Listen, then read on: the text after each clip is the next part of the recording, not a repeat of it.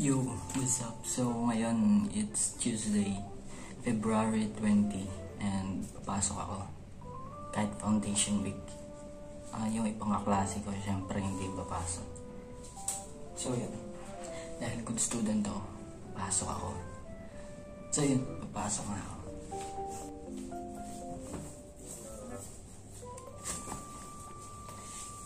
So, itong damit na to, wala nang plancha-plancha. Ganito na to. As is na to. Pagkagaling sa may closet, diretso suot. Wala nang plancha. Pati rin ito, hindi na to pinaplancha.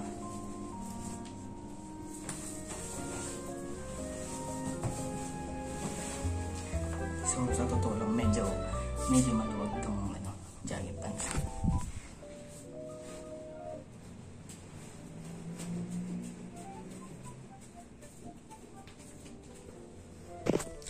So, ayan. no. Sa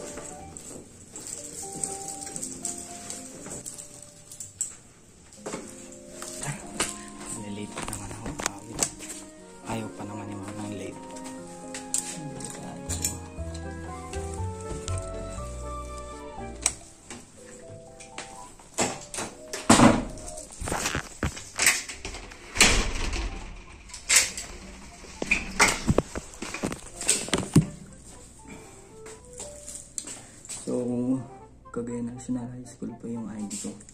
Tapos meron pang Polytechnic University of the Philippines. Tapos may Arellano. So, tatlong ano to, tatlong school.